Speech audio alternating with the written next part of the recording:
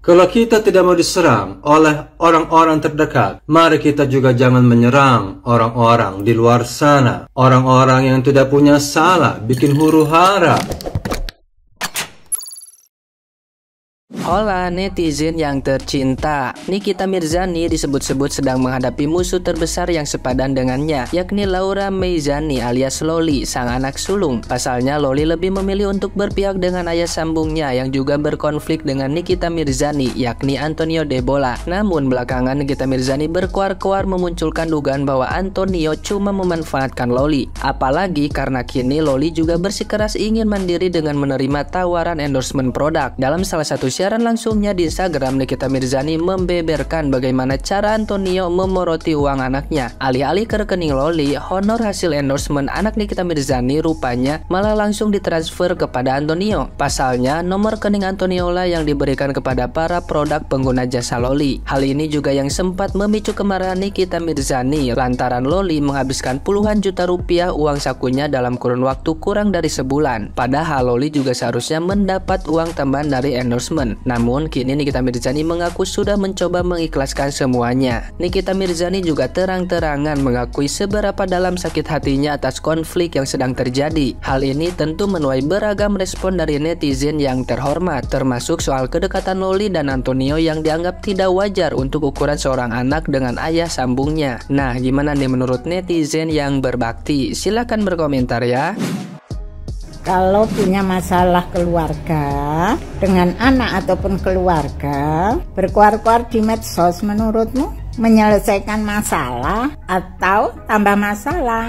Ayo komen Mimi cucu sangat bagus untuk kesehatan tubuh kita. Kalau kita tidak mau diserang oleh orang-orang terdekat, mari kita juga jangan menyerang orang-orang di luar sana. Orang-orang yang tidak punya salah, bikin huru hara, bikin gaduh untuk kepentingan fana. Akhirnya, orang-orang sekitar kita menyerang dan itu jauh lebih menyakiti. Mari kita bertobat dan kita mencari dan mendapatkan semua hidayah yang sesungguhnya. Minum cucu sangat sehat, membuat lambung kita tenang, hati tenang, penuh protein dan kita akan semakin tinggi menuju surga.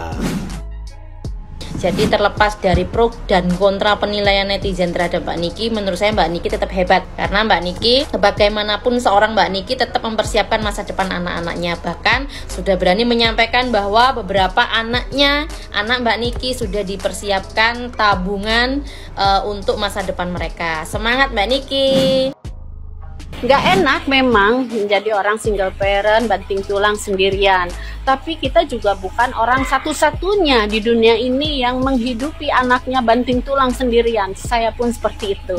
Jadi bukan hanya sendirian bukan hanya kamu aja yang begitu. Banyak sekali wanita-wanita yang hebat yang bisa membesarkan anaknya sendirian. Ya saya mempunyai dua anak dan saya besarkan sendirian. Jadi masalah anak memang kita siapa pun tidak bisa ikut mencampuri, tapi saya sangat membuka eh, masukan-masukan dari orang. Karena bagaimanapun uh, karena kita sendirian ya pastinya butuh sekali tempat atau sahabat yang bisa kita percayai untuk memberi masukan. Jadi saya lebih senang sih kalau ada yang menasehati atau memberi tahu gitu ya. Seperti Mbak Niki ini banyak sekali orang-orang yang memberi tahu. Harusnya diambil hikmahnya disyukuri terlalu banyak orang yang memperhatikan kamu daripada saya ya kan? Ada yang memperhatikan. Jadi harusnya kamu adalah lebih kuat nggak usah marah-marah. Karena orang bagaimanapun bentuknya kalau sudah memperhatikan berarti sayang. Gitu sih. Jadi diambil hikmahnya ya. Tetap semangat menjadi single parent tetap bersyukur apa yang terjadi sama diri kita yang sudah digariskan sama diri kita hidup banting tulang sendirian. Mudah-mudahan suatu saat Tuhan mempertemukan kita dengan jodoh yang baik dengan uh, tidak berganti-ganti. Makanya sampai sekarang saya belum punya yang uh, klik di hati karena saya takut kalau hanya misalnya bersatu pisah lagi bersatu pisah lagi. Jadi saya membatasi diri untuk tidak pacaran untuk tidak bertemu laki-laki di rumah. Uh, kalau laki-laki itu belum menunjukkan keseriusannya untuk uh, menjadi seorang imam di rumah kita tidak semudah itu teman-teman ya. Even kayak orang tua yang sudah semampu si Mbak NM itu nggak semudah itu guys. Karena apa? Karena aku sudah merasakan bagaimana orang tua yang otoratif itu kadang-kadang juga membuat kita itu berpikir dua kali aman nggak ya pinjem duitnya orang tua untuk bisnis atau apa? Sebelum aku yang namanya bikin bisnis kayak gini ya teman-teman ya aku tuh disuruh ngapain aja sama mamaku disuruh yang namanya sekolah karakter teman-teman ya sekolah kepribadian. Karena apa? Karena pada waktu aku tuh kuliah aku tuh berantem terus aku tuh gelut tawuran terus sama orang-orang gitu loh teman. Makanya aku tuh nggak terima teman-teman. Ya setelah lulus kuliah kemudian disuruh yang namanya membuka bisnis tapi karena kuliah tidak sanggup yang namanya kayak memberikan saya nasihat kemudian juga kayak bagaimana cara kita memulai ya gak terima teman-teman. Akhirnya gue juga apa gue sendiri juga akhirnya kepikiran dan agak-agak kayak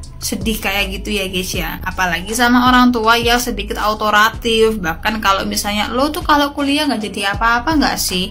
Nah gimana lo mikir kayak gitu? Dengar kayak gitu orang tua sudah meninggal gimana? Gini ya bukan apa-apa. Kalau terjadi seperti itu karena saya sudah yang namanya lima tahun ya di family business ya ya itu karena temboknya itu gagal. Temboknya itu nggak bukan karena kita harus kerja cari duit sama-sama jaga toko atau yang namanya jualan di TikTok sampai omsetnya puluhan juta sekali TikTok lima uh, ratusan juta gitu ya bukan.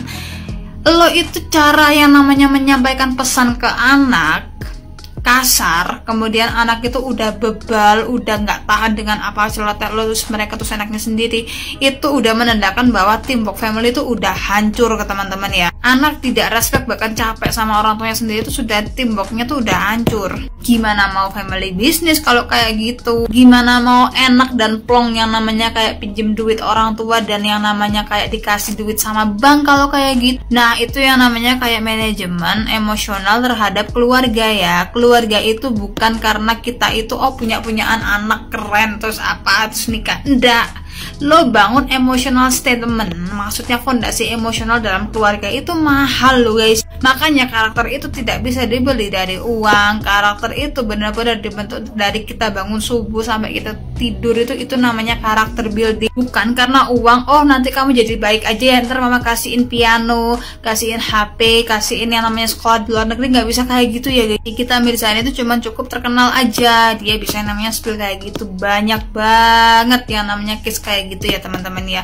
Anak udah nggak cocok sama orang tuanya lagi bukan karena kenakalan atau karena memang dari keluarganya tuh udah toxic udah emosionalnya tuh nggak stabil. Makanya mereka tuh caw aja gitu Kali ini aku setuju dengan Nyai alias Nikita Mirzani. Nikita Mirzani kecewa terhadap putrinya yang sudah sangat mengecewakannya. Kenapa? Karena uang jajan ratusan juta, tiba-tiba udah habis aja, nggak tahu ke mana. Ya wajar dong seorang ibu bertanya karena Nikita Mirzani mengirimkan uang bukan dalam jumlah yang sedikit. Dan Mbak Nikita Mirzani juga sangat kecewa ya kan karena uh, si anak tadi sangat membela mantan suaminya.